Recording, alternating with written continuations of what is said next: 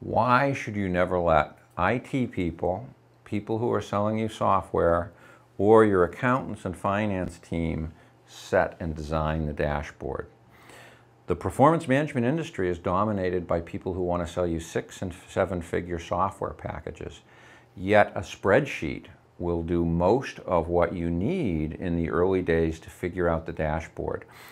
I was an IT professional myself, but the important, the art of designing a business dashboard is to map it in to the business, not to map it in to the finance numbers alone or an IT perspective to create enormous amounts of granular data.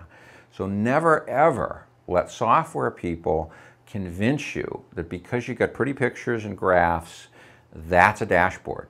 A dash, creating a dashboard is an art, and you never ever want to listen to the people that have a conflict of interest in selling you software or let them design the business aspects of your dashboard.